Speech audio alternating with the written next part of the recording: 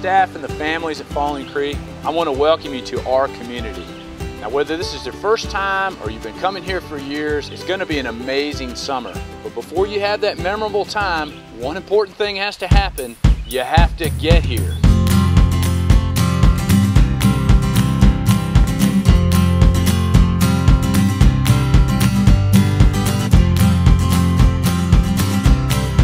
So let's start with the basics. If you're going to have that amazing time at camp this summer, it's not a bad idea to know our location. Now, I've been coming here since I was eight years old, so I know it by heart. But you're going to want to know that GPS address. Yates, how you doing?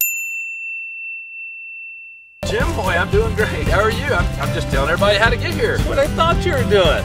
But you're not at Falling Creek. I'm not at Falling Creek.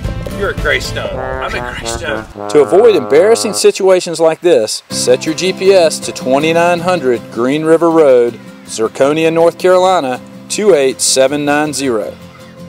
We're three miles from Roscoe's, 45 minutes from Asheville, two hours from Charlotte, 30 minutes from Greenville, four hours from Chattanooga, six hours from DC, nine hours from New Orleans, 11 hours from New York, three days from Los Angeles, four days from Honolulu, three days from London, and four days from Sydney.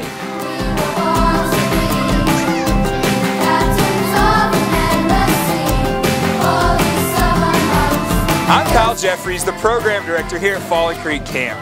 No matter the time zone, we're excited to greet you between 9.30 and 11.30 on the Sunday your session starts. Parking at camp is limited, so if you have a friend or family member that wants to come along, we suggest you carpool. The drive into camp is a beautiful mountain road, and like all beautiful mountain roads, it's best enjoyed when driving slow. So this might be a good chance to leave the Porsche in the garage and bust out the Mini. Room.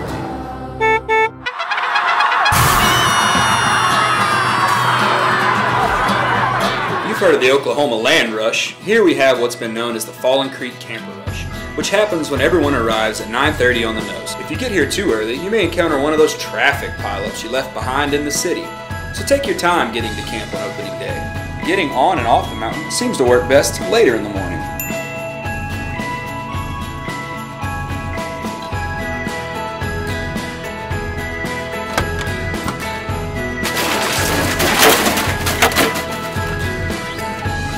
When you pack your car before coming to camp, make sure you pack it so we can get to your trunk easily. And don't worry about having to lug your trunk across camp, our staff takes care of everything. If your son's trunk has wheels on it, please take them off before you put them in your vehicle. We want your Falling Creek experience to start as soon as you get here. So after you park, head on to the dining hall for a map and some directions. Then you can head straight up to your cabin and meet your counselors and your cabin mates. Your beds will already be made for you, and your trunk will be brought up by another staff member. Oh!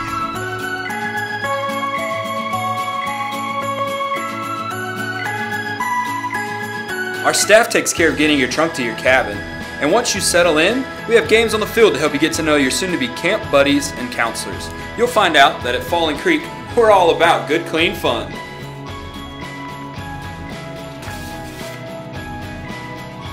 Safety is a major concern here at Falling Creek, but so is making sure that your son stays healthy. If he takes any daily medications, be sure to stop by the infirmary on opening day and go over the medications with our nursing staff. Common medications such as pain relievers, antihistamines, eardrops, wound ointments, and antacids are not allowed in the cabins, but don't worry, we have plenty stocked in our infirmary, so you don't need to bring them. If your son needs an inhaler, bring two. Just in case he can't find his, we'll always have one in the infirmary.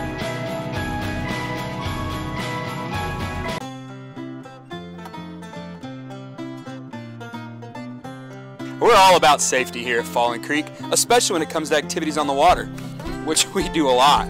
So one important opening day activity is our swim check, which we ask each camper to take to assess their swimming skills. Campers are asked to swim four 25 meter lengths of freestyle, one length of elementary backstroke, and then to tread water for five minutes. We ask campers who need to work on their skills to take swim lessons until we feel they are at a level safe enough to take out of camp trips, like river trips and sailing.